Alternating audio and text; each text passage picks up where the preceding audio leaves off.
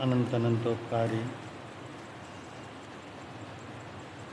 त्रैलोक्यनाथ शासन के महाप्राण शर्मा भगवान महावीर स्वामी को स्मरण करते हुए आचार्य भगवान व महाराज गुरुदेव के चरणों में वंदना। वंचासीन नेपाल हिंद गौरव वाचनाचार्य उपाध्याय प्रवर डॉक्टर श्री विशाल मुंजी महाराज साहब के चरणों में कोटिस वंदन करने के पश्चात आदरणीय मुनिराज, प्रिय श्रोताजन,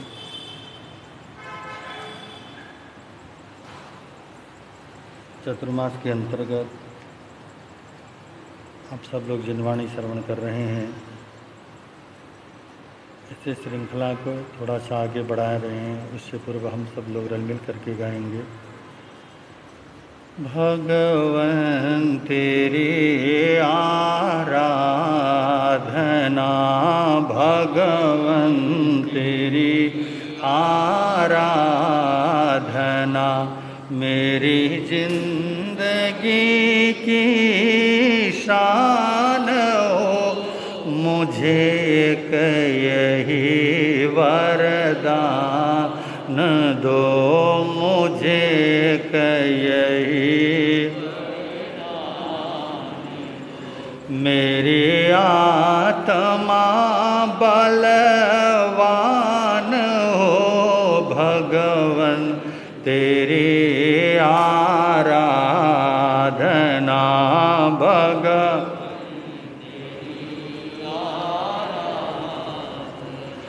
मुझे सुख की कोई परवाह नहीं।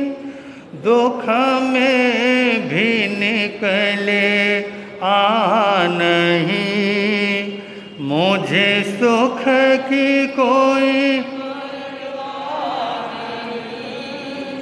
दुख में भी निकले बस एक तेरा ध्यान हो। बस एक तेरा ध्यान होठों पे तेरा नाम हो। भगवन तेरी आराधना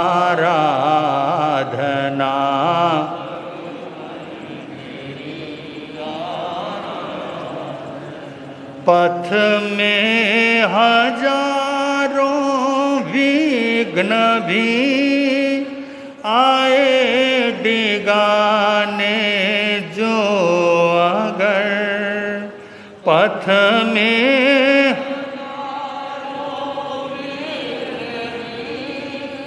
आए डिगाने जो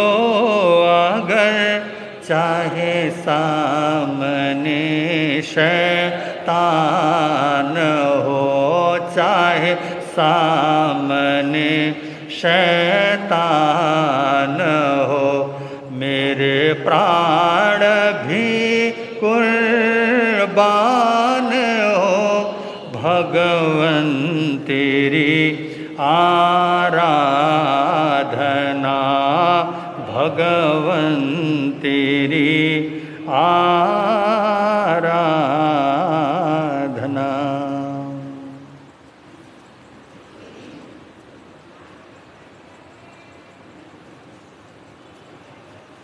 हमारा जीवन जिस तरह आगे बढ़ता है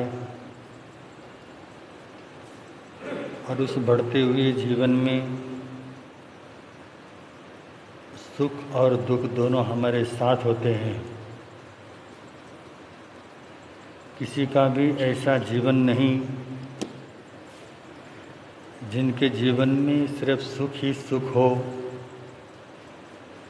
और कोई ऐसा भी नहीं जिसके जीवन में मात्र दुखी हो। दुख और सुख दोनों एक सिक्के के दो पहलुओं की तरह हमारे जीवन में आते हैं। सुख आता है तो भी हमें स्वयं अकेले को उसको भोगना है। तो दुख आता है तो भी उस दुख को बांटने वाला इस जीवन में कोई दूसरा साथी हो नहीं सकता। एक भ्रम ज़रूर हम लोग पाल लेते हैं। दुख को बांटा जा सकता है। जिसको हम ये सोचते हैं कि हम दुख बांट रहे हैं, वो दुख बांटना नहीं, दुख फैलाना होता है। एक से दूसरे दूसरे में, दूसरे से तीसरे में उस दुख को हमने फैलाया ज़रूर है, परंतु दुख को हमने बांटा नहीं। जो हमारे जीवन में दुख आता है, उसको तो हमें स्वयं अकेले ही भोगना होता है। चाहे प्रसन्न होकर के भोग लिया जाए या फिर परेशान होकर के भोगा जाए, भोगना तो स्वयं को पड़ेगा, क्योंकि वो कर्म हमारे स्वयं अपने द्वारा किए हुए कर्म होते हैं। कभी कभी हमें ऐसा महसूस होता है कि मैंने बहुत कुछ किया है दुनिया के लिए, मैं अपने परिवार के लिए भी बहुत कुछ करता हूँ, परंतु उसके प्रतिफल में मुझे कुछ मिलता नहीं ऐसा हमें भ्रम हो जाता है अगर हमारे करने से अच्छा होता तो शायद सारे संसार को हम अच्छा बना देते। और अच्छा बना देते ये कहना तो आसान है, परंतु हमारे मन में ऐसे भाव आते ही कहाँ हैं? हम तो सिर्फ़ अपने तक सीमित रहते हैं। स्वयं पर या स्वयं के आसपास में रहने वाले जो सहयोगी साथी हैं, उन तक ही सीमित रहते हैं। सर्वे भवंतु सुखिन। संसार के सब प्राणियों को सुख प्राप्त हो, ऐसा तो भाव कम ही लोगों के मन में आता है। फिर भी कुछ ऐसे पुण्यात्मा, धर्मात्मा पुरुष संसार में अवतार लेते हैं, उनके मन में ज़रूर ये भाव आते हैं कि सारे संसार के लोगों को मैं दुख मुक्त कर दूँ। ऐसा भाव जिन महापुरुषों के भावना मन में आते हैं, क्या वो महापुरुष सारे संसार को सुख दे पाते हैं? तो वो भी संसार को सुख नहीं दे पाते तो इसका मतलब सिर्फ़ एक ही हुआ, हम चाहें तो हम सुखी हो सकते हैं तो हम चाह रहे हैं, इसलिए हम लोग दुख पा रहे हैं। पर ये हमको विश्वास करना पड़ेगा। अगर हम चाहते हैं, हम चाहें, अगर हम हमने संकल्प किया, मुझे दुखी नहीं होना है, किसी भी परिस्थिति में क्यों न हो। अगर ऐसा भाव मेरे अंदर आया और मैंने संकल्प किया तो उस व्यक्ति को संसार में कोई दुख दे नहीं सकता। तो सुख और दुख, ये हमारे स्वयं के अपने सोच पर निर्भर करता है। और स्वयं अपने द्वारा किए हुए कर्मों का फल हमको भोगने को और उदय में आए हैं और उनको हमें भोगना पड़ रहा है। और इस तरह का ज्ञान हमें हो जाए तो बंधु, संसार में हमें दुख से मुक्ति मिल सकती है। और बहुत लोगों की यही शिकायत होती, हम सब लोगों की एक ही शिकायत है। कि मैंने अपने परिवार के लिए किया, बच्चों के लिए किया, अपने बाप के लिए किया, सब के लिए मैं करता हूँ। ऐसा गलत फहमी मेरे मन में होती है, परंतु हम किसी को कुछ कर नहीं सकते। अगर हम कुछ करते, करने वाले होते तो बंधु, एक ही परिवार में जन्म लेने वाले दो भाई हैं, एक लखपति होता है और राजा बनता है, और उसी गर्भ से जन्म लेने वाला दूसरा भाई भीख मांगने को मजबूर हो जाता है। शायद परवरिश एक ही परिवार में हुआ है माँ बाप वही है, दोनों की इच्छा एक ही थी, मैं अपने बच्चों को होनहार बना दूँ, परंतु होनहार बनाने के माँ बाप के चाहने से तो होनहार हुआ नहीं जा सकता। जिस व्यक्ति ने अपने दृढ़ संकल्प के साथ अपने जीवन को आगे बढ़ाया, जिया तो वो संसार में सफल होता है। और बंधु, जिसने जीवन में हमेशा पराजित ही स्वीकार किया है, हमेशा हारा हुआ, शिकायत भरा जीवन जीने वाला व्यक्ति जीवन में फिर वो सुख पा सकता नहीं। इसी तरह की कुछ घटनाएँ आप सब लोग सुन रहे थे कि मदन रेखा, बंधु वो ऐसी नारी जिसके जीवन में इतनी पवित्रता है, राज्य सुख को उसने इस तरह से ठोकर मार दिया जैसे हम हमारे शरीर से किसी गंदगी को त्याग देते हैं। इतने सामान्य रूप में सांसारिक परिपूर्ण वो सुख को त्याग कर जंगल के मार्ग को अगर उसने स्वीकार किया है, इसके पीछे एक ही कारण था, शील की सुरक्षा। जिस व्यक्ति ने ये संकल्प किया, मैं अपने शील की सुरक्षा करने के लिए बंदो तैयार हूँ तो बंदो संसार की कोई भी घटना उसे पराजित नहीं कर सकती। और ऐसे नारी जब जंगल में जाती है, जंगल में एक बच्चे को जन्म दिया, और बच्चे को जन्म देते ही माँ और बेटे का बिछुड़ना हो जाता। है अब बंदो माँ तो चाहती थी, मेरा बच्चा अच्छा बने और मेरे बेटा राजमहल में जन्म ले, राजकुमार बने, भविष्य में राजा बने, ऐसी चाहना तो उसके मन में भी, उसके मन में सपने ऐसे थे होंगे, परंतु जन्म से पूर्व ही कुछ ऐसी दुर्घटना घट गई।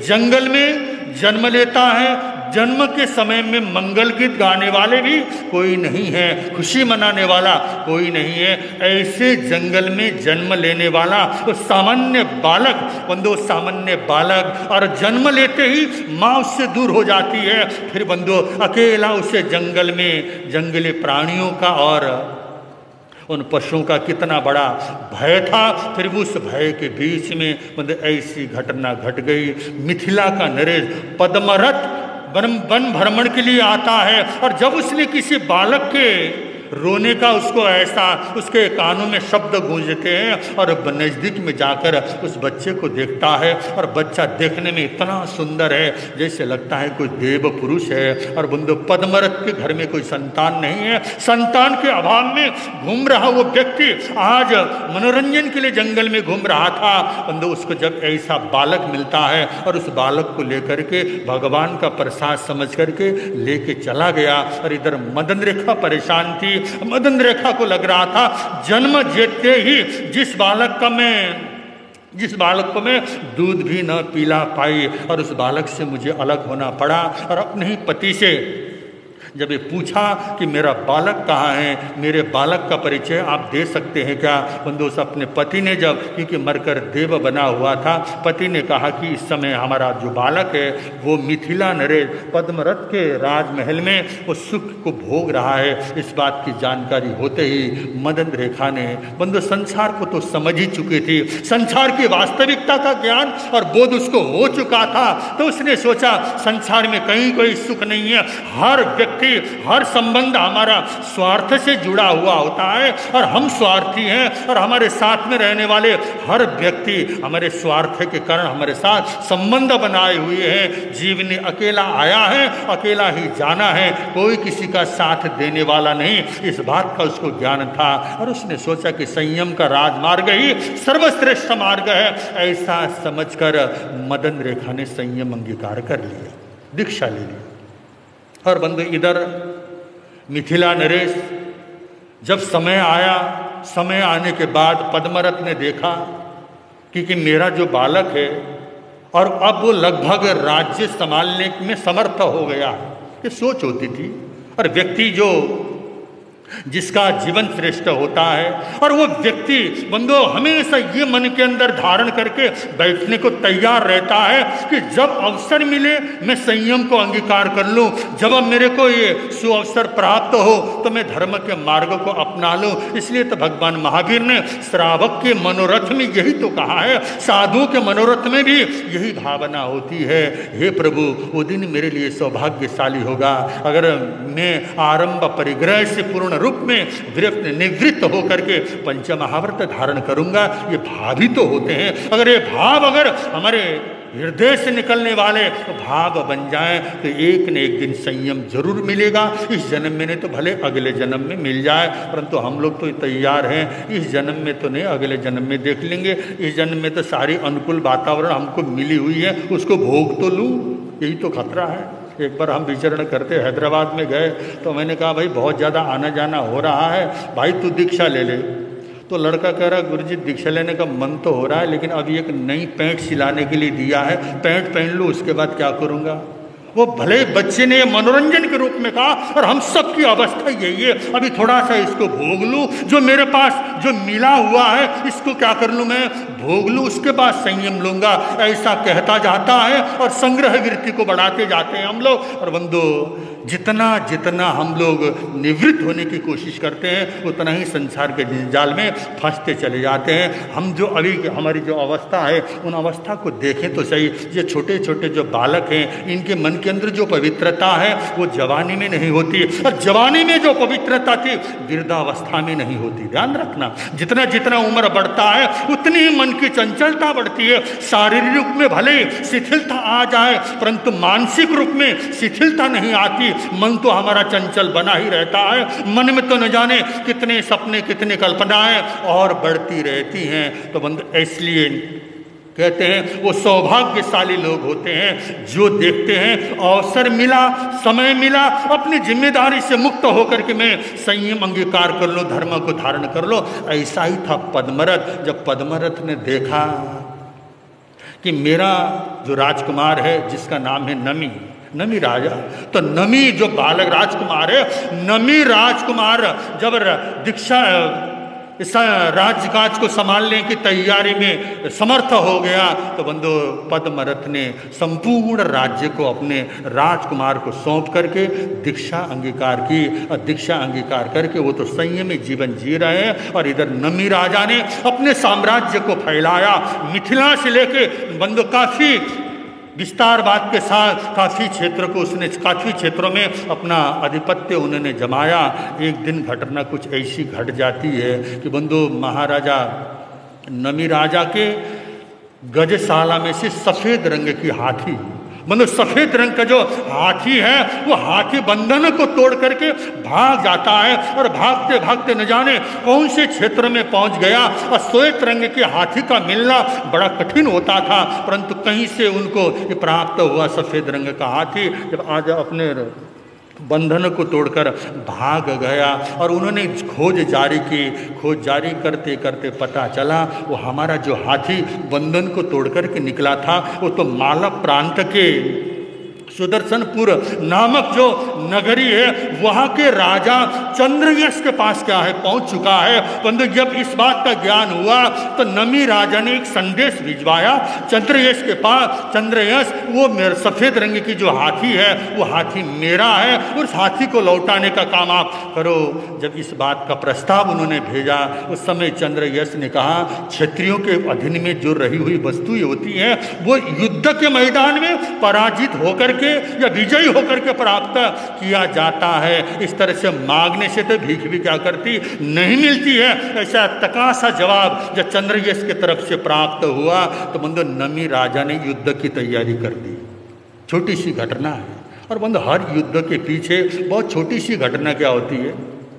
और गलत फहमियाँ युद्ध पैदा कर देती हैं। छोटी सी गलत फहमी आप दो दिन पहले वाचनाचार्य जी के मुँह से मुखारविंद से एक घटना सुन रहे थे। एक दासी ने रानी के कपड़े पहन करके बिस्तर में लेटने पर और बोले, कितना बड़ा क्या हो गया? शंका का माहौल बन गया। राजा समझता रानी गलत है, रानी समझती है राजा गलत है, महामंत्री समझता राजा गलत है। गलत कौन था? गलत संसार में कोई भी नहीं होता। हमारी सोच होती है, हमारी दृष्टि होती है और हमारे मन में उठने वाली जो शंकाएँ हैं, वही तो गलत है। और बंद इस गलत फहमियों से कौन हमें वो सही रास्ता दिखाए? और बंधु, उसमें सिर्फ़ एक ही वो दासी तो थी, जो सत्य को क्या करती थी? समझती थी। अंत में जाके शायद वो दासी ने क्या कर दिया होगा? इसी तरह हमारे जीवन में भी किसी के साथ हमारा झगड़ा होता है, युद्ध होता है, लड़ाई होती है, होता कुछ भी नहीं है। अगर उसके बारीकी में पहुँचने की कोशिश करें, अगर हम जहाँ से झगड़ा पैदा हुआ, उस सत्य तक पहुँचने की कोशिश करो, कुछ भी नहीं होता है। फलाने ने ऐसा कहा था, उस फलाने ने फलाने से कहा था, फलाने ने ऐसा करते करते, बंधु इतना दूर दूर बंद आ जाता है और किसी के बारे में एक मिनट में हम क्या करते गलत धारणा बना लेते हैं। और एक बार जब किसी व्यक्ति के प्रति आपकी गलत धारणा बन जाती है, फिर उसको मिटाना इतना आसान नहीं है। गलत धारणा बना लेना तो बड़ा आसान है। सामने वाला व्यक्ति गलत है, वो गलत को मानने के बाद आपके मन से सही होना बड़ा समय लगता है। इसलिए किसी को आप गलत क्या करना, मत समझना कि एक बार गलत समझ लिया, फिर सही करना आसान आपको सही करना इतना सहज नहीं होता है। मतलब सामान्य से एक हाथी के लिए हज़ारों सैनिक क्या हो गए? रणभूमि में युद्ध करने को तैयार हो गए। इधर मिथिला नरेश, नमी राजा, युद्ध के लिए तैयार हैं। तो उधर से चंद्रयान, बंधु, युद्ध के लिए तैयार है। दोनों रणभूमि में, बंधु, युद्ध करने की तैयारी कर रहे हैं। और बंधु, बिना कारण ही हज़ारों वहाँ पर मनुष्यों की क्या करने वाली है? बलि चढ़ने वाली है? ये दया, ये करुणा के भाव अगर मन में आ जाए, अरे बाबा चलो, इस हाथी के त्यागने से अगर हज़ारों लोगों की जान बचती है तो क्या इसके अंदर घाटा का सौदा है? ऐसा तो कभी सोचता नहीं। अहंकारी व्यक्ति, घमंडी व्यक्ति हमेशा अपने नान अहम को क्या करता मूल्य देता है, हमेशा अपने दम्भ में रहता है और उस दम्भ की सुरक्षा करने करने में न जाने कितना नुकसान स्वयं का भी कर लेता है। अहंकारी व्यक्ति सोचता तो यह है कि मैं सामने वाले व्यक्ति को क्या कर रहा हूँ? बंदो सही कर रहा हूँ, लेकिन कोई सही नहीं कर सकता। स्वयं क्या करता है? पराजित हो रहा होता है। इसलिए बंधु, दोनों के बीच के अंदर युद्ध की तैयारी हुई। युद्ध का बिगुल फूका गया और बंधु, युद्ध करने की तैयारी कर रहे थे। उस समय ये सूचना जब पूरे बंधु मालव प्रदेश और मिथिला मिथिला का मतलब इस समय नेपाल के जनकपुर बंद इतना दूर और ये मालव प्रदेश लगभग उज्जैनी का एरिया। इतनी दूरी में दोनों राजाएँ क्या हैं? इसके बीच में रहने वाले संपूर्ण राज्य राज्य उनके अधीन में थे तो दोनों की युद्ध की जब तैयारी होने लगी, होते समय इस बात की जब जानकारी पूरे शहर में, पूरे देश में, राष्ट्र में जब फैल गए, उस समय बंधु, ये जो मदन रेखा जिन्होंने दीक्षा ले रखी थी और उनका नाम था सुब्रता श्री उनको जब पता चला कि मालव प्रदेश और मिथिला दोनों नरेश के बीच में युद्ध होने वाला है और उनको इस बात का भी ज्ञान था कि ये चंद्रयश वो भी स्वयं उनका ही पुत्र था। अब देखिए बंधु जीवन में क्या क्या घटनाएँ घटती हैं। और जो दोनों रा, राजा युद्ध करने की तैयारी कर रहे हैं दोनों अनभिज्ञ हैं एक दूसरे के संबंध से।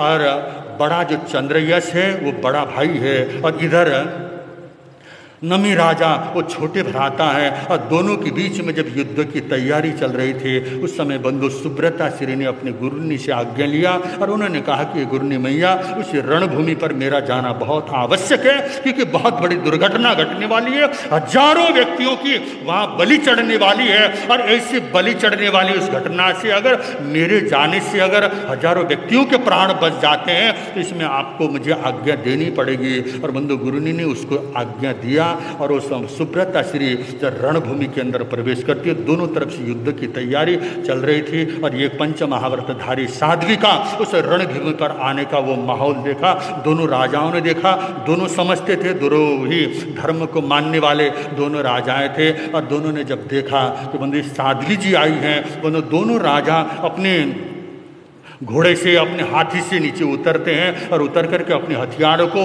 उसी जगह पर रखकर साधवी को वंदन करने के लिए दोनों बंधन भी करते हैं और आशीर्वाद भी लेने के लिए वो आ जाते हैं कि चलो कम से कम युद्ध शुरू होने से पहले हम साधवी जी से आशीर्वाद लेते हैं। ऐसा दोनों ने सोचा और आशीर्वाद लेने के लिए जब दोनों सामने आते हैं, दोनों सामने आए तो मतलब दोनों को ही सुब्रता श्री महासाध्वी जी ने बोध देना शुरू किया, कुछ ऐसा ज्ञान देना शुरू किया, आखिर तुम युद्ध किसके लिए कर रहे हो? युद्ध कर रहे हो तो किसके साथ कर रहे हो? किसको मारने की तैयारी तुम करने लगे हो? ऐसा जब जानकारी दिया तो बंधु दोनों ने पूछा तो उस समय मदन रेखा ने संपूर्ण अपना परिचय खोल के क्या कर दिया?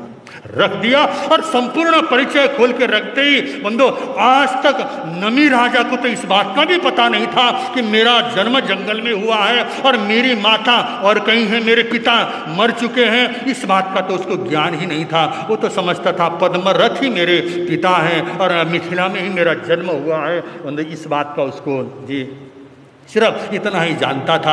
आज प्रथम बार जीवन में जब मदन रेखा, जो सुब्रता श्री बनी है, उन्होंने जब अपना परिचय दिया तो बंद तुरंत नमी राजा ने अपने बड़े भाई को क्या किया? बंधन किया और बड़े भाई चंद्र यश ने गले लगाया और गले लगाने के बाद दोनों के आँखों में क्या होते हैं? आँसू की धारा बहती है और उस घटना को देखकर बंदो या अपनी माता को देखकर दोनों के मन के अंदर जो श्रद्धा के भाव पैदा हुए, चंद्र यह तो संपूर्ण घटना को जानता ही था कि घटना ऐसी घटी थी। मतलब जब युग बाहु को मार करके मणिरथ जब अपने राज्य की ओर जा, जा रहा था जाते जाते बंधु कभी कभी हमारे जो अशुभ कर्म होते हैं अशुभ कर्मों का फल तुरंत प्राप्त भी हो जाते हैं। तो बंधु चंद मणिरथ जब अपने घर लौट रहा था पर लौट भी नहीं पाया। रास्ते में ये काले से जहरीले सांप ने उसको डंक मारा और वहीं पर उसकी क्या हो गई? इधर युगबाहु की मृत्यु होती है तो उधर मणिरथ की मृत्यु हो गई। मणिरथ की मृत्यु होते ही बंधु, ये मदन रेखा के बड़े, बड़ा पुत्र, क्योंकि मणिरथ का कोई संतान नहीं था, बंधु, दोनों पुत्र वहाँ पर मदन रेखा का जो बड़ा पुत्र है, उस बड़े पुत्र को राजा बनाया गया था। तो मालव प्रदेश का राजा चंद्रयस था और इधर मिथिला का राजा, बंधु, नमी राजा, ये भी दोनों मदन रेखा के पुत्र थे। जब मदन रेखा ने जा जाकर के इस असलियत का ज्ञान दिया, बोध दिया। तो उसी युद्ध के मैदान में युद्ध करने की तैयारी कर रहा है और चंद्रयश बंजो जब तक वो अज्ञान अवस्था में था, उस समय एक हाथी को छोड़ने को तैयार नहीं, वो भी दूसरे की हाथी, उसको छीन करके वो बैठा हुआ था। अब बंधु संपूर्ण राज्य देने को क्या हो जाता है? तैयार हो जाता है। माता को उसने नमन किया और उसने कहा, हे माता, मैं तो तुम्हारे साथ ही क्या करता हूँ? संयम अंगीकार करता हूँ? और अपने छोटे भाई नमी राजा को बोला, ले सारा राज्य क्या है? तेरा है। और मैं कुछ नहीं जानता। मैं भी माता के साथ क्या कर रहा हूँ? दीक्षा लेने के लिए जा रहा। वो दीक्षा लेने चला जाता है। और नमी राजा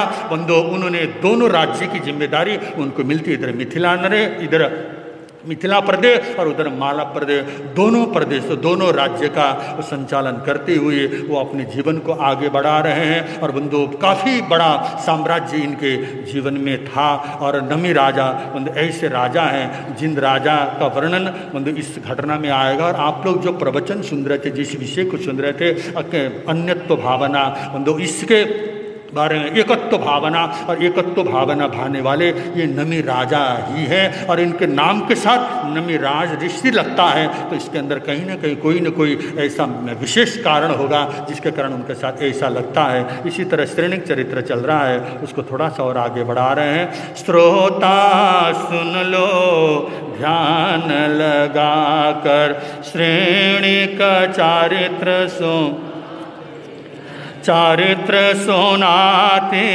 हैं धर्म। श्रोता सुन लो ध्यान लगाकर श्रेणी का कालांतर से कुड़कुड़ भेजा बिना कुकड़ के संग लड़ना इसको खूब सिखाना हुक्म दिया बेढंग। श्रोता सुन लो, ध्यान लगा कर श्रेणी का चारित्र। तो बंदो महाराजा श्रेणी अब उनकी जो लड़ाई है, वो प्रतिष्ठा की लड़ाई बन चुकी थी। पुराने उस भाव को तो भूल चुके थे। अब उनको ऐसा लगा कि हर मेरे प्रश्न का उत्तर बड़े सहज रूप में दिया जा रहा है। और उन्होंने देखा, मैंने पहले, इससे पहले जो मैंने बकरा भेजा और बकरे का भी निरीक्षण प्रतिदिन करने के लिए अनुचरों को भेजता रहा। उन तो कई महीनों तक उस बकरे को देखा, न उसका वज़न बढ़ रहा था, न उसका वज़न घट रहा था। एक जैसा वज़न और होने का कारण भी जब अनुचरों ने जाके महाराजा श्रेणिक को बतला दिया कि वो सामने एक शेर को बांधा हुआ है, पिंजरे में रखा हुआ है, और पिंजरे के सामने एक बकरा है तो इसलिए उसका वज़न बढ़ नहीं पा रहा है। महाराजा को लगा कि यहाँ पर भी हम हार गए हैं, पराजित हो गए हैं तो उन्होंने एक और समस्या डाल दी। उन्होंने एक मुर्गे को दिया, मुर्गे को भेजा और उस मुर्गे को कहा, इसको बिना दूसरे मुर्गे के युद्ध करना क्या करो? मुर्गों की लड़ाई बड़ी खतरनाक लड़ाई होती है। आप लोगों को तो ऐसा अवसर मिला ही नहीं होगा, क्योंकि आपने ऐसे माहौल में जन्म लिया ही नहीं है। मुर्गा जब लड़ते हैं तो पूरे खुनम खुनो क्या होते हैं? हो जाते हैं कभी कभी तो एक मुर्गा क्या हो जाता है? मर ही जाता है। इतनी खूंखार दोनों की लड़ाइयाँ होती हैं। कई दिन तक चलती है लड़ाई। एक दिन, एक घंटा नहीं, दो घंटा नहीं। पूरा पूरा दिन क्या होता है? मुर्गों की लड़ाई। एक, दो मुर्गे जो होते आपस में लड़ते रहते हैं। युद्ध करने, सिखाने के बाद जब कही और उन्होंने मुर्गे को भेजा तो बंधु अब वो नंदीग्राम वासी परेशान है। नंदीग्राम वासी तो बंधु उनके पास तो ये की हथियार था। अभय कुमार के पास पहुँचते हैं और अभय कुमार से पूछा कि आखिर एक अकेले मुर्गे को युद्ध करने कैसे सिखाया जा सकता है? तो मतलब अभय कुमार ने तरकीब बताई उन्होंने कहा, बड़ा सा दर्पण क्या कर दो? सामने रख दो। और दर्पण के सामने से मुर्गे को क्या करो रखो? सामने जब मुर्गा दिखाई देगा, क्योंकि उसकी अपनी परछाइयाँ प्रतिबिंब सामने दिखाई देगा तो वो क्या करेगा? उस मुर्गे को मारने की तैयारी करेगा और लड़ते लड़ते वो दर्पण में अपनी चोंच को मारेगा तो अकेला ही क्या करेगा? वो लड़ने में ला, ला, युद्ध वो सीख जाएगा। कुछ ऐसी बातें बनती चली गई और बन रहे तो होते होते मतलब ऐसा हुआ।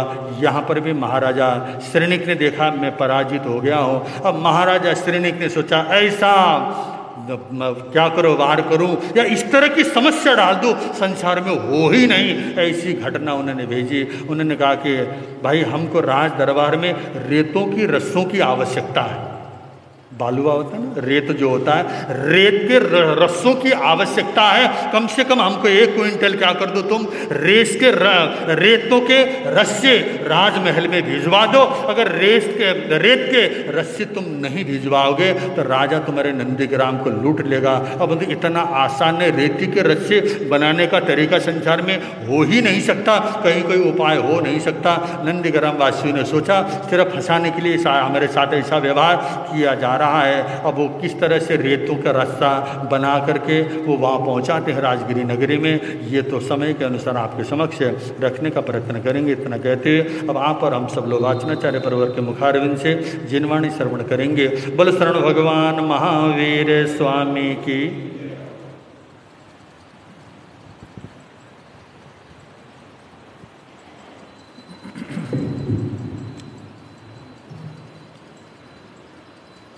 Evo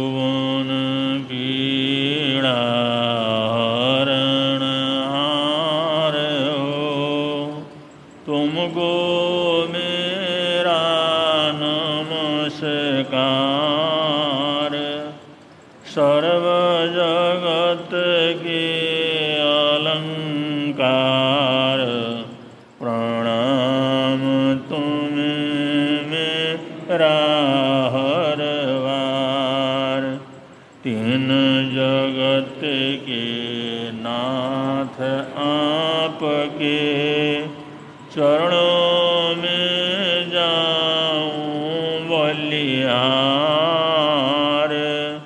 भवसागर के शोषण करता तुमको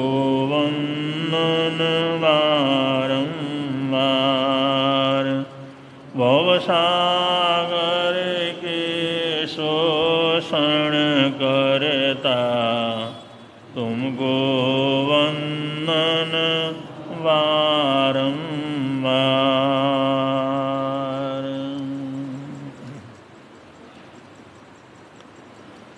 प्रसंग चल रहा है चरण करणान योग का। चरण करणान योग में जो तपाचार होता है, तपाचार में जो बारह प्रकार हैं उनमें तीसरे आभ्यंतर तप। तपाचार का प्रसंग अभी आप लोगों के समक्ष चल रहा है। तीसरा आंतरिक तप है बैयावृत्ति बेयावच्च भी कहते हैं बैयावृत्त भी कहते हैं, सेवा भी कहते हैं, सहयोग भी कहते हैं। शुश्रूषा भी कहते हैं साता पहुंचाना कहते हैं। ये सब इससे ही मिलते जुलते हुए शब्द हैं।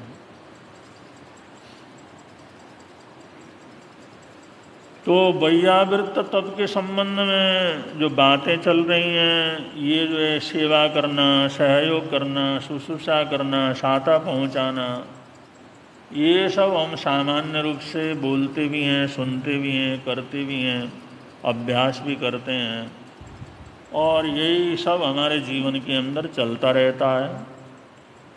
लेकिन विशेष रूप से शास्त्रकार यहाँ पर आंतरिक तप का वर्णन करते हुए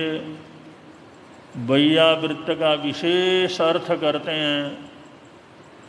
आगम की भाषा के अंदर ये बोला जाता है, जब कोई साधक तपस्या करते हुए, साधना करते हुए ज्ञान की इतनी गहराई को छू जाता है। ध्यान आदि साधना की इतनी गहराई के अंदर चला जाता है। भेद विज्ञान का इतना गहरा अभ्यास कर लेता है। तो उसके लिए कि प्राणी मात्र के प्रति, प्राणी मात्र को दुख नहीं देना, तकलीफ़ नहीं देना, परेशान नहीं करना, आशातना नहीं करना, प्राणी मात्र के प्रति कोई दुख दर्द नहीं देना, ऐसी जो जीवन की उत्कृष्ट अवस्था होती है, उसको वृत्त तपस्वी की अवस्था माना जाता है। अब ये चीज़ बहुत गहरी है। लेकिन ये आगम की भाषा, आगम का ज्ञान, आगम के शब्द, इन्हीं के अंदर कभी कभी कुछ उसको विचार विशेष रूप से न समझने के कारण या उसमें कसाई आदि का प्रवेश होने के कारण ये बड़ी विडम्बना के जो है परिणाम भी हो जाते हैं। जैसे वृत्त तप को लेकर के एक परंपरा चली है, उस परंपरा को कहते हैं तेरपंथ परंपरा। जो तेरपंथ परंपरा है, इसका भेद, इसकी पैदाइश, ये संप्रदाय का निर्माण और ये तेरपंथ विचारधारा, ये वृत्त तप के अर्थ से निकली हुई है। और कहाँ आंतरिक तप है, कहाँ वैयावृत्त तप है। लेकिन इसी तप से एक पूरा संप्रदाय खड़ा हुआ, जो कि तेरपंथ परंपरा के नाम से जाना जाता है। तो बहुत विचित्र बातें होती हैं बहुत बार। थोड़ा सा अर्थ भेद से कहीं का कहीं इंसान पहुँच जाता है। अब बात ऐसी हुई, आगम के अंदर जो लिखा हुआ है, आगम के अंदर वैयावृत्त तप का जो वर्णन है, कि वैयावृत्त तप करने वाला साधक, चाहे प्राणी हो, चाहे भूत हो, चाहे जीव हो, चाहे सत्व हो, चेतना मात्र को कोई तकलीफ़ नहीं देता।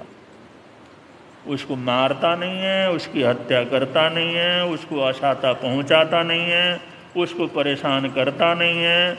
चाहे एक इंद्रिय हो बेन्द्रिय हो तेन्द्रिय हो नारकी हो या पशु हो या मनुष्य हो, कोई भी प्राणी हो, कोई भी जीव जगत के अंदर जितने भी प्राणी हैं, उनको किसी भी प्रकार की तकलीफ़ नहीं पहुंचाना, उनकी हत्या नहीं करना, उनको दुखी नहीं करना, उनको परेशान नहीं करना, ये वैयावृत्त तपस्या है। वैयावृत्त का तपस्वी जो है, किसी भी प्राणी को कोई तकलीफ़ नहीं पहुंचाता। ये तो आगम का अर्थ हो गया। अब यहाँ पर एक प्रश्न पैदा हुआ। अब ये प्रश्न पैदा हुआ, ठीक है, वो जो वैयावृत्त तपस्वी है, वो किसी को तकलीफ़ नहीं देता। लेकिन कोई तकलीफ़ में हो, कोई बीमार हो कोई अशक्त हो, कोई परवश हो, कोई सहारे के लिए चिल्ला रहा हो, कोई बचने के लिए चिल्ला रहा हो, कोई सहायता मांग रहा हो तो उसके लिए क्या करना? उसको तो सहायता पहुंचानी चाहिए ना। तो ये हुआ तो ये वैयावृत्त तप। का अर्थ वहाँ पर क्या करेंगे? एक प्रश्न पैदा हुआ, जिज्ञासा पैदा हुई।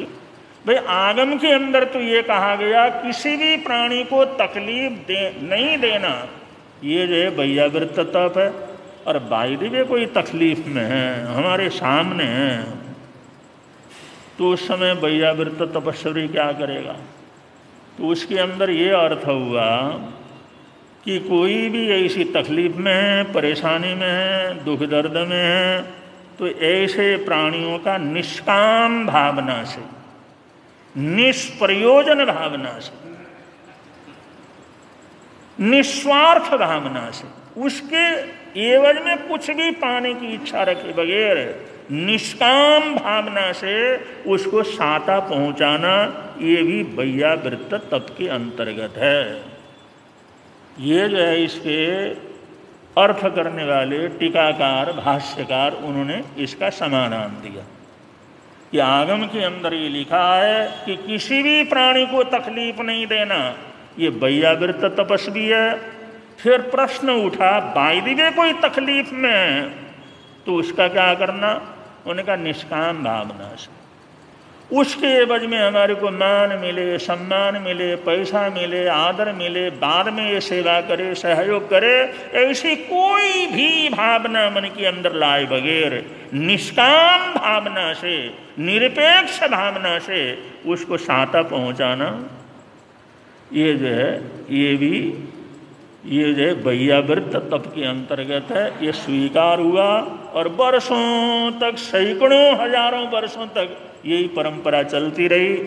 तो अपने समाज के अंदर, जैन समाज के अंदर, जैसे अन्नदान है पाणदान है, वस्त्रदान है, नौ प्रकार के पुण्य हैं, या हॉस्पिटल वगैरह बनाना है, औषधि वगैरह देना है, जो भी काम है, सेवा के काम दुनिया भर के संसार के अंदर चलते रहे। दो ढाई सौ वर्ष पहले एक और विचारधारा पैदा हो गई। भाई ये वृत्त तप में इतना तो बिल्कुल ठीक है कि वृत्त तपस्वी किसी भी प्राणी को तकलीफ़ न दे। ये तो हमारे को बिल्कुल मान्य है। लेकिन कोई तकलीफ़ है तो उसकी सेवा करना ये गलत है। ये विचार पैदा हुआ। आगम में तो लिखा नहीं है। उन्होंने तो सीधा लिख दिया कि भाई किसी भी प्राणी को तकलीफ़ नहीं देना भैया वृत्त तप है। तो फिर आपने ये कैसे जोड़ दिया कि किसी को तकलीफ़ है, कोई बीमार है, कोई परेशान है, कोई मर रहा है, कोई चिल्ला रहा है तो उसको सहयोग देना भी जो है भैया वृत्त तप है। ये गलत है। ये विचारधारा। डेढ़ दो सौ साल पहले ये विचारधारा आ गई। और आई कहाँ से? इसी बैया भृत के अर्थ से। तूने कहा, इसका मतलब अब भाई मर रहा है, चिल रहा है, जल रहा है, परेशान हो रहा है, गिर रहा है, तकलीफ़ में तो उसको सहयोगी ना दे। उसकी सेवा ही नहीं करें। भाई, निष्काम भावना से तो कर सकते हैं। जैसे बिना स्वार्थ के तो कर सकते हैं, बिना अपेक्षा से तो कर सकते हैं। वो कहता, नहीं। सेवा करना हो, सहयोग देना हो तो सिर्फ़ दीक्षित आत्मा है। सिर्फ़ संयमी आत्मा है। कोई साधु हो, संयमी हो, आचार्य हो, उपाध्याय हो, पंच महाव्रतधारी हो, सारे पापों का त्याग किया हुआ हो, उसको तो साता पहुँचा जा सकता है, लेकिन इसके अलावा किसी को भी अगर साता पहुंचाते हैं तो पाप है, कर्म का बंधन है, वो गलत है। ये नहीं करना चाहिए, ये विचारधारा पैदा हो।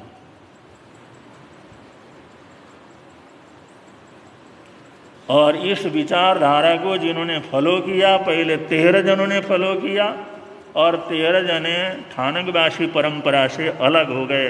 वे आँख लोग जो करते हैं, ये गलत है। आप लोग अन्नदान पान दान सहयोग, सेवा, दवाई देना, बीमारों की सेवा करना, ये जो सबके लिए कहते हैं, ये गलत है। हम तो इसको नहीं मानते। ये तो भगवान की वाणी से अलग है। ये तो गलत है, इसलिए तेरह जने स्थानकवासी जो परंपरा थी शिवतांबर परंपरा थी, उससे अलग हो गए। तो उन्होंने कहा, हे प्रभु, तेरा पंथ, हम तो तेरे पंथ के ऊपर चल रहे हैं। सही तुम्हारे पंथ के ऊपर चल रहे हैं, वहाँ से तेरह पंथी समाज का निर्माण हुआ। और कहाँ से पैदा हुआ? इसकी जड़ बहियावृत्त तप और कभी कभी अर्थ का अनर्थ हो जाता है, या फिर जो कुछ समझने की अलग अलग प्रवृत्ति रहती है अलग अलग धाराएँ रहती हैं तो यही वैयावृत्त तप, जो तीसरा आंतरिक तप है, जिसका वर्णन शास्त्र के अंदर किया हुआ है, उसी के ऊपर न मालूम कितने हज़ारों वर्ष तक उसका आचरण होता रहा, क्योंकि जो उसमें ये हुआ, भाई निष्काम भावना से तो हम सेवा कर सकते हैं। ये जो है, ये ये जो वैयावृत्त तप के अंतर्गत है, लेकिन आचार्य भिक्षु ने कहा, ये अर्थ बिल्कुल गलत है। गलत है तो फिर विवाद पैदा हुआ। इसका मतलब कोई गिर रहा तो गिरने दें, गिरने दो। कोई मर रहा हो, मरने दो। कोई जल रहा हो, जलने दो। ये ठीक है, हमने नहीं जलाना, हमने नहीं गिराना, हमने नहीं मारना, हमने ऐसा सोचना नहीं है, बस इतना बहुत है पाप इतना बहुत भैया गिरता तब इतना ही। कि हमने किसी को तकलीफ़ नहीं देना, हमने किसी को मारना नहीं, हमने किसी को जलाना नहीं, हमने किसी को फूंकना नहीं, हमने किसी को गिराना नहीं, हमने किसी को घायल नहीं करना। लेकिन हो गया तो हो गया उसका कर्म। है फिर उसमें हम जो है बीच के अंदर ये सेवा की भावना लेकर के कोई व्यवधान नहीं डाल सकते। अगर ये डालते हो तो गलत है। तो इस बात को लेकर के फिर विवाद पैदा हुआ कि भाई, ये तो बिल्कुल गलत है। सारे संसार के अंदर दया के लिए, करुणा के लिए, सेवा के लिए कितना कुछ किया जाता है। और हम ये कहें, मरते हुए को बचाना पाप है, गिरते हुए को संभालना पाप है, या जलते हुए को अग्नि से बचाना पाप है, ये कैसे हो सकता है? उन्होंने कहा, नहीं हो सकता है तो हम तो इस तो मान नहीं सकते। यहाँ से तेरह पंथ परंपरा प्रारंभ हुई। वैयावृत्त तप के अर्थ से जो है तो कहाँ कहाँ से कैसी जड़ें पैदा हो जाती हैं, कैसा भेद पैदा हो जाता है, और उस परंपरा के अंदर भी एक से एक बढ़कर के विद्वान है, एक से एक बढ़कर के लेखक हैं, एक से एक बढ़कर के भाष्यकार हैं, एक से एक बढ़कर के कवि हैं, एक से एक बढ़कर के विद्वान हैं। लेकिन वो लोग उसी चीज़ को पुष्ट करते हैं, जो हम भैया वृत्त का तप करते हैं, हम भैया वृत्त की बात करते हैं, वही बात सही है। और ये जो दिगंबर, शिवतांबर, जैन समाज की तरफ़ से ये जो बात है, वो बात गलत है। सेवा करना हो तो केवल साधु साधियों की सेवा की जा सकती है, केवल उनको साता पहुँचाया जा सकता है। उसके अलावा कोई भी असंयति प्राणी है, उनको कोई भी सेवा करना ये धर्म नहीं, ये अधर्म है। ये जो है विचारधारा और ये प्रवृत्ति चलती है। और जिस समय ये विचारधारा चली तो इसका बड़ा भारी विरोध हुआ।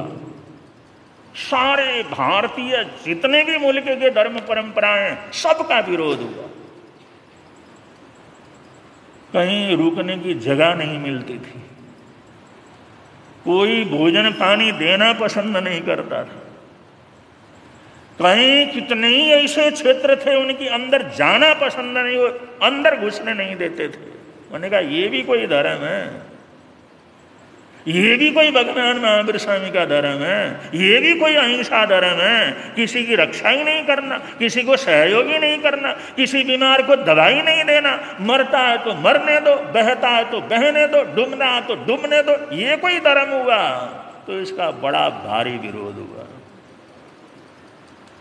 और उन संतों ने अब इतनी इतनी तकलीफ़ें थीं और किसी विश्वास को लेकर के चले थे स्मशान घाट में रुकते थे। रेते के ऊपर सारा राजस्थान हो तो रेत से भरा पड़ा है। रुकने की जला नहीं मिलती थी। गर्मी के मौसम में रेत के ऊपर पड़े रहते थे। स्मशान घाटों के अंदर रहते थे। कहीं कहीं दिन तक तपस्या करते थे। और ऐसा चलते चलते चलते कुछ लोगों ने सोचा, अरे भाई, इतना जो तपस्या कर रहे हैं, इतना कष्टिम सह कर रहे हैं, अरे कुछ न कुछ तो होगा। अरे कुछ न कुछ तो इनकी बात भी होगी ना। बिना मतलब के तो कौन ऐसा करता है? चलो भाई इनका। कुछ न कुछ तो सहयोग करना पड़ेगा ना इनका। कुछ न कुछ तो मान सम्मान करना पड़ेगा। वो जितना जितना उन्होंने त्याग और तपस्या की, उसकी वजह से फिर उनको प्रतिष्ठा प्राप्त प्रारंभ हो गई। और आगे चल करके इस बात को कोई स्वीकार नहीं कर सकता था। इसलिए आचार्य तुलसी ने कहा, भाई ध्यान साधना की शिविर लगाओ। ये अपने सिद्धांत कहीं बोलोगे कहीं तो मुश्किल हो जाएगा। इसलिए पंचशील का निकालो, अणुवर्त का आंदोलन निकालो, ध्यान का आंदोलन, ध्यान शिविरों का निकालो, जिनको जो हम पब्लिकली कुछ न कुछ बोल सकें, लेकिन अपनी चीज़ अगर रखेंगे तो भाई पत्थरबाजी होगी, परेशानी होगी, तकलीफ़ होगी, लड़ाई झगड़े होंगे। ये आचार्य तुलसी जी ने फिर इस चीज़ को थोड़ा बदला। उन्होंने कहा, जो हमारा अपना विश्वास है, जो हमारी अपने सिद्धांत हैं, हमने अपने घर के अंदर पक्के लोगों को बतलाना। पब्लिकली अगर तुम ये बतलाओगे तो बड़ी भारी मुसीबत होगी। आजकल मुसीबत ही हो रही है। इसलिए पब्लिकली ये बात नहीं करना। जो हमारी मान्यता है, हमारी मान्यता जो हमारे पक्के लोग होंगे, उनको बताएँगे, अपने शिविर में बताएँगे। लेकिन पब्लिकली तो तुमने क्या करना है? पब्लिकली अणुवर्त का आंदोलन चलाया। जो उन श्रावक के जो पाँच अणुवर्त हैं, उनका आंदोलन, अणुवर्त आंदोलन। और ये ध्यान साधना को विकसित किया, भाई इसको जो प्रचार प्रसार करो। जिससे जो हमारा प्रचार प्रसार पूरी तरह से हो जाए। तो आज भी तेरहपंथी समाज बहुत संपन्न है और बड़े जो है तादाद के अंदर जो है तेरहपंथी समाज के अंदर साधु साध्वी भी हैं श्रावक श्राविकाएँ भी हैं। और आचार्य का जैसे चतुर्मास होता है तो वहाँ तो नगरी बसा दिया जाता है पूरा का पूरा पूरा नगर। आज बम्बई में चतुर्मास है तो पूरा नगर वहाँ पर है, पूरा बाज़ार वहाँ पर है, सारा वो सब कुछ किया जाता है, इतना खर्च इतना सब कुछ कर लेते हैं, लेकिन ये भेद इसी इसी जो है बैयावृत तत्व के अर्थ को लेकर के भेद पैदा हुआ। ये तेरहपंथी परंपरा का जन्म ही यहाँ से हुआ। कि संयति की सेवा करना, असंयति की सेवा करना पाप। फिर अब जो है वो कहते हैं, भाई ये द्रव्य से है भाई, ये सांसारिक पुण्य है, ये सांसारिक काम है, चलो करना, करो, कोई बात नहीं।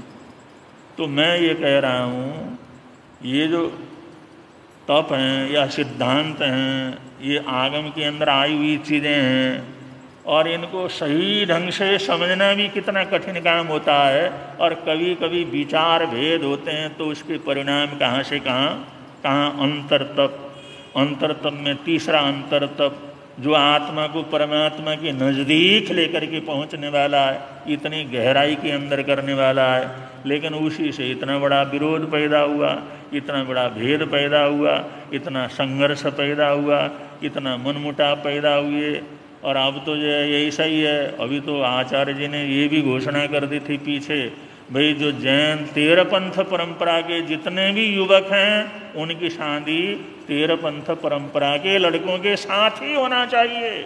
और जितनी लड़कियाँ हैं, उनको भी तेरपंथी परंपरा के अंदर ही देना चाहिए। इनको मंदिर मार्गी, थानकवासी, मूर्ति पूजक उसमें भी नहीं देना। ये घोषणा करने के बाद काफ़ी आयतवा मच गई थी। अरे ऐसा कैसे कर सकते हैं? आज हमारा समाज वैसा ही है, आचार्य ऐसी घोषणा कैसे कर सकते हैं? लेकिन चलता है। अब जिनके पास बल होता है, शक्ति होती है, पीठ बल होता है, वो अपना करते रहते हैं। तो जो है, ये भेद इतने पैदा हो जाते वो किधर रोटी बेटी का भी संबंध बंद करो इसमें। अपने थानकवासी और मूर्ति पूजा कर दिगंबर उन परंपराओं के अंदर भी देने के लिए मना कर दिया उन्होंने। तेरहपंथी बच्ची होगी तो तेरहपंथी मानने वालों के साथ ही होगी। और तेरहपंथी लड़का होगा तो तेरहपंथी लड़की से ही शादी होगी, दूसरे से नहीं करना तो ये इन्हीं चीज़ों से जो अद्भुत चीज़ें होती हैं आत्म साधना की ऊंचाई होती है, लेकिन कभी कभी उनके अंदर भी ऐसे भेद पैदा हो जाते हैं, ऐसे भेद पैदा हो जाते हैं जिससे समाज के अंदर बड़ी भारी विडम्बना भी क्या हो जाती है, पैदा हो जाती है तो बैयावृत तप, उसका सामान्य रूप से अर्थ क्या होता है, विशेष रूप से अर्थ क्या होता है, और अर्थ भेद होने के कारण क्या से क्या हुआ हमारे समाज के अंदर, कितना बड़ा एक वर्ग अलग हो गया, और इस प्रकार कई संप्रदाय बीच के अंदर पैदा हो गए, ये सब बातें इस तपस्या के संबंध में, जो इसके संबंधित थे, वो आप लोगों की जानकारी के लिए विद्वेश के लिए नहीं, लड़ने के लिए नहीं, बुराई करने के लिए नहीं, किसी का अपमान करने के लिए नहीं, ये सिर्फ़ एक जानकारी के लिए कि हमारी मान्यता भेद क्या है। क्योंकि अगर किसी को पूछो, भाई, थानकवासी और मूर्ति पूजक के अंदर क्या अंतर होता है? कहते हैं, उनकी मुखपट्टी छोटी होती है और उनकी लंबी होती है, बस। उन्होंने कहा ये लंबी हो या छोटी हो, इसमें एक अंगूर बढ़ाने से कौन सा इतना भारी विवाह हो जाता है? विवाद ये है, विवाद यहाँ का। वो मुखपट्टी की तो लंबी तो इसलिए रखा, भाई, अगर ऐसे रखेंगे तो सारे थाने के थानेवासी समझेंगे, इसलिए थोड़ा सा इसको बढ़ा लो। इसलिए दो अंगुल उन्होंने, एक अंगुल इधर से, एक अंगुल इधर से बढ़ा दिया। कि लोगों को पैसा कहता हमें तो पता है, लेकिन लोगों को कैसे पता लगेगा? श्रावकों को कैसे पता लगेगा? तो आजकल आप लोग सिर्फ़ इतना भेद समझते हैं। कोई पूछे ना किसी से, पूछे तेरहपंथी और हमारे में क्या अंतर है जी? कोई संत आए, कोई देखे, युवक वगैरह पूछे तो माता पिता भाई बहन यही बतला देते हैं, भाई, जो थानकवासी हम लोग हैं ना, हमारी मुखपट्टी छोटी होती है और तेरहपंथियों की लंबी होती है। यहाँ तक कोई भी नहीं जाता, कोई भी नहीं पहचानता, कोई भी इतना किसके पास है, सब समझने का पढ़ने का डिस्कस करने का, या उसके गहराई के अंदर जाने का, कहाँ किसी को समय है, कहाँ किसी के पास इतना जो है वो इतना जो है जिज्ञासा वगैरह है, इसलिए प्रसंग आया था, इसलिए प्रसंग के अनुसार ये चीज़ बतला दिया, और बहुत से तर्क ऐसे हैं, बहुत से अकाट्य तर्क उनके ऐसे हैं, कि बड़े बड़े विद्वान भी उस चीज़ को स्वीकार करते हैं भी तुम ठीक हो, तुमने अलग किया तो ठीक किया। तुम्हारी मान्यता कोई गलत नहीं है। ऐसा बड़े बड़े तार्किक और विद्वान भी स्वीकार करते हैं, क्योंकि बड़ा भारी समाज भी उनके पीछे है। तो एक तरफ़ से हम किसी को एकदम गलत या किसी को एकदम सही तो हम कह नहीं सकते।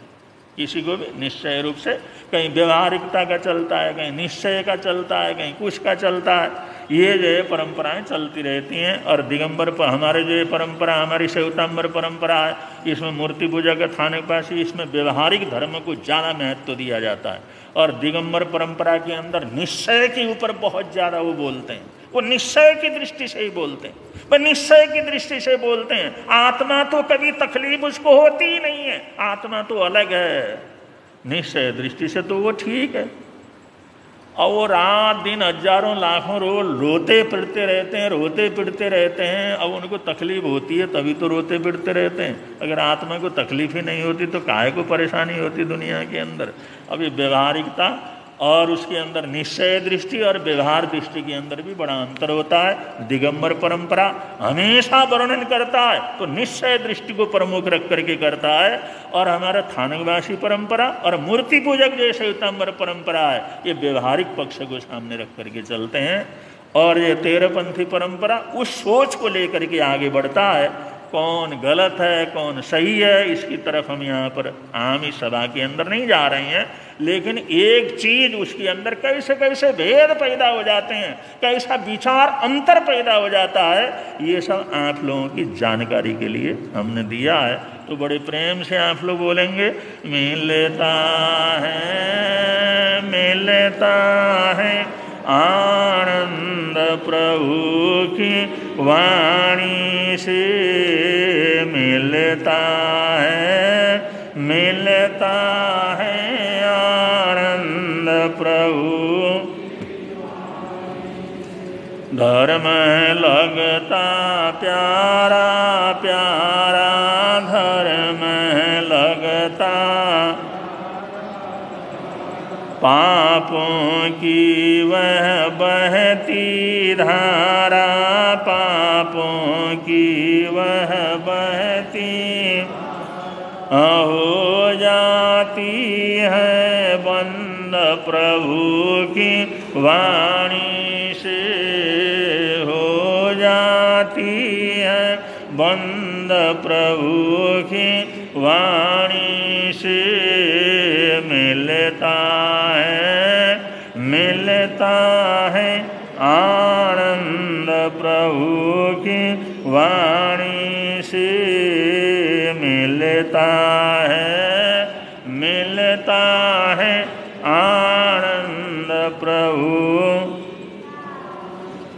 आज हमारी धर्मशाला में दूर दूर से हमारे विशेष मेहमान आए हुए हैं। जैसे ठेठ बम्बई खार से श्री उमेश जी जैन यहाँ पर आए हुए हैं, जो कर्मठ कार्यकर्ता हैं। और आपके जैन नगर के दामाद हैं। अपने ससुराल में आए, उनको भी बहुत बहुत मंगल कामनाएँ। ठेठ नंदुरबार महाराष्ट्र से कोठारी परिवार यहाँ पर आया हुआ है। हमारे संकित मुनि जी महाराज साहब कोठारी परिवार से ही हैं। उनके परिवारजन हैं, वो भी यहाँ पर आए हुए हैं। उनको भी बहुत बहुत मंगल कामनाएँ देते हैं। दिल्ली और सोनीपत से भी हमारे श्रावक श्राविकाओं का आना हुआ है। उनको भी बहुत बहुत मंगल कामनाएँ, बहुत बहुत सद्भावनाएँ हैं। एक विशेष प्रकार की सूचना है, हमारे पुनित मुनि महाराज साहब ने जैन तत्व प्रकाश के ऊपर प्रश्न पत्र निकाला हुआ है। उसको जो बहनें, भाई लोग उसका जो पेपर भी भर रहे हैं घर में बैठ करके एक छोटे बच्चों के लिए 108 नवकार मंत्र को लिखने की प्रतियोगिता उन्होंने रखी हुई है, जो भी घर में लिख करके जमा करना है। तो दोनों प्रतियोगिताओं के लिए प्रथम, द्वितीय, तृतीय आदि जो पुरस्कार देने का अभी किसी का आया हुआ नहीं है, वो बाकी है। कोई भी परिवार, कोई भी श्रावक श्राविकाएँ ये दोनों परीक्षाओं के परीक्षार्थियों को उनके जो है रिज़ल्ट के अनुसार जो उनको पुरस्कार देना चाहते हैं तो पुनित मुनि जी महाराज साहब से संपर्क कर लें, क्योंकि बच्चों का 108 नमकार मंत्र लिखने की प्रतियोगिता है और बड़ों के लिए जैन तत्व प्रकाश का प्रश्न जो है, उसको करने का है। तो जो भी इसमें भाग लेना चाहते हैं, सहयोग देना चाहते हैं, वो पुनित मुनि जी महाराज साहब से संपर्क कर सकते हैं और जिससे ये कार्यक्रम बहुत अच्छी तरह से आगे से आगे बढ़ सके। और आज इस महीने का पहला रविवार और पहले रविवार को प्रवर्तक शांति, आशीष, सेवा, संघ की तरफ़ से सामायिक दिवस रखा जाता है। और इस दिन सबको आह्वान करते हैं सामायिक के लिए। और साथ साथ में उस संघ के जितने भी सदस्य हैं, उनके लिए भी कहा हुआ है, कम से कम महीने में एक दिन सामूहिक रूप से सामायिक करने के लिए प्रवचन के अंदर पहुँचना है। इसलिए कई जो भाई लोग आज प्रवचन के अंदर आए हुए हैं, उनको भी बहुत बहुत मंगल कामनाएँ, सद्भावनाएँ देते हैं। और इसी संस्थान की तरफ़ से प्रवर्तक शांति आशीष, सेवा संघ की तरफ़ से शांति लोग हॉस्पिटल में जहाँ सेवा का काम लगातार चलता है, वहाँ पर डायलिसिस सेंटर भी चलता है। और जो भी किसी को डायलिसिस का लाभ लेना हो या किसी को ऐसा कोई गरीब वगैरह आपके संपर्क में हो तो उनको भी वो सूचना दे सकते हैं जिससे वहाँ पर उनको लाभ ले सकें। तीन मशीन वहाँ पर चल रही हैं और गुरु सुमति विशाल डायलिसिस सेंटर जो चेन्नई में चलता है, उन लोगों ने वहाँ से मशीनें भेजी हैं। तो यहाँ पर उनका सुचारू रूप से चल रहा है। उस सेवा का आप लोग लाभ ले सकते हैं। कोई भी किसी को सूचना वगैरह दे करके लाभार्थी उनको बना सकते हैं। और इसी संघ की तरफ़ से प्रवर्तक शांति, आशीष सेवा संघ की तरफ़ से बाल संस्कार, स्मार्ट योजना रखी गई है, जिसमें जो बच्चे आकर के सामायिक करेंगे एकासना करेंगे, एक घंटे बैठ कर के माला करेंगे उनके लिए अलग अलग जो है पर्चियाँ उनको दे रहे हैं और उन पर्चियों को एक महीने तक वो लेते रहेंगे और एक महीने के बाद स्टॉल लगेगा। उसमें अलग अलग मूल्य की बहुत सी चीज़ें वहाँ पर रखी जाएँगी और उन पर्चियों के आधार पर ये बच्चे उस सामान को, वो पर्चियाँ भर करके उसके मूल्य का सामान अपने घर ले जा सकते हैं। तो ये छोटा सा बच्चा है आरब जैन, इसका तेला है। खड़ा हो जाओ भाई तुम, तेला के तेला करना एक आसन का तेला। हो अब ये बच्चे वगैरह सब सामायिक करते हैं, पहले तो भाग दौड़ करते रहते थे, जब से ये योजना शुरू हुई है, एक घंटा बैठ करके आराम से ये माला करते हैं। और अंदर मणिभद्र मणि महाराज साहब के शाम को आकर के ऐसा माला करते हैं अच्छे अच्छे योगी भी नहीं बैठते ऐसे ऐसे बैठ के करते हैं। वो कहते गुरु जी हमारी माला ठीक है ना, अब तो पर्ची तो दोगे. वो कहते भाई गड़बड़ हुआ तो तुम्हारे को पर्ची नहीं मिलेगी। तो पर्ची के लिए भी चाहे कुछ भी हो, लेकिन फिर भी बच्चे आते हैं और करते हैं, सामायिक भी करते हैं, एकासना भी करते हैं, तेला भी किया है। तो ये सब कार्यक्रम भी उनकी तरफ़ से चल रहा है और तो सबको जो हम बहुत बहुत मंगल कामनाएँ, सदभावनाएँ देते हैं। और आज के एकासने व्यासने जिन भाई बहनों का एकासना व्यासना हो तो प्रत्याख्यान ले सकते हैं, आज का हाँ एक आसना भी एक आसना भी का बचकान इसका तेला है, इसका तेला का बचकान पहले करा देते हैं। आज के तेले का प्रत्याख्यान अरियंत वो सरे वो सरे वो आज के आँख के मंधारण के अनुसार, एक आसना भी आसने का बचकान अरियंत सिद्ध खंचो तस्वंते परिकोणिंदम करी त्याग, वो सरे वो सरे वो तपस्या करने वालों को संघ की शान आगे बढ़ाने वालों को। हाँ श्रीमती शिमला, कीमती लाल जी जैन, उनका चौंतीसवा आई मिल। है चौंतीसवा हाँ? पैंतीस हो गया हाँ। पैंतीसवा आई मिल। आज आपका पैंतीसवा आई मिल। है आप मांस खमने से भी आगे जो है निकल गए हैं। जैसे चंद्रयान आगे से आगे निकलता चला जाता है ना एकदम हर रुकावट को पार करते हुए ऐसे मांस खमण को भी पार करके आप आगे बढ़ गए हैं तो आपको बहुत बहुत मंगल कामनाएँ। आज पैंतीस में आपका एक आसना है आइम मिल पैंतीस में आइम मिल का बचका नरियंत्र तो सुनते ही बड़ी मंगल त्याग वो सर तपस्या करने वालों को संघ की शान बढ़ाने वालों को आज के उपवास का प्रत्याख्यान, अगर किसी भाई बहन का आज का उपवास हो तो आप हाँ आपका एक आसन आपका लंबा एक आसन है कितना हो गया? हाँ बहत्तर। पैंसठ एक आसन का बचकाना सुनते पड़े नाम करें त्याग वो सर्व सर्व तपस्या करने वालों को संघ की शान बढ़ाने वालों को सात तारीख को भंडारे की अष्टमी है। भंडारे की अष्टमी, भंडारे की अष्टमी होने के बाद कितने भी तपस्या करो, माला करो, जाप करो, पाठ करो, उपवास करो, बेले तेले करो, अठाई करो, उसका कोई भी मांग नहीं रखना। हे प्रभु, ये मैंने कर लिया तो ये काम मेरा हो जाए। वो सारा पुण्य भंडारे के अंदर इकट्ठा करना है, जो अगले भव के अंदर हमारे काम आ जाए। उसको लेकर और तो चलने वाले कुछ है नहीं चीज़ें। सब यहीं पर छूटने वाली है। तो भगवान ने रास्ता बतलाया, ये जो भंडारे की अष्टमी से लेकर के संवत्सरी तक। और अनंत चौदह, आगे भी होता है होता है वैसे तो अनंत चौदस तक नहीं तो कम से कम संवत्सरी तक जितनी भी तपस्या करो, निष्काम भावना से करो, बिना स्वार्थ के करो, बिना अपेक्षा से करो, जितना कर सकते हो तह दिल से करो, वो सारा हमारे भंडारे के अंदर इकट्ठा रहेगा। और जहाँ पर कुछ नहीं पहुँचता आत्मा के साथ, वो वैभव, वो समृद्धि उधर को पहुँचेगी। इसलिए भंडारे की अष्टमी का विशेष रूप से आप लोगों ने ध्यान रखना है और बारह तारीख को पहला परीक्षण है। बारह तारीख को पहला परीक्षण है और ये तो आप हमेशा करते रहते हैं, इसलिए ज़्यादा प्रेरणा की ज़रूरत नहीं।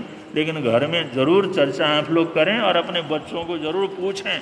एक बार तो पूछें, उनको भाई परुषण आ रहे हैं, क्या कर रहे हो? किसी की तपस्या क्या है क्या है, क्या कर रहे हो? कुछ नहीं।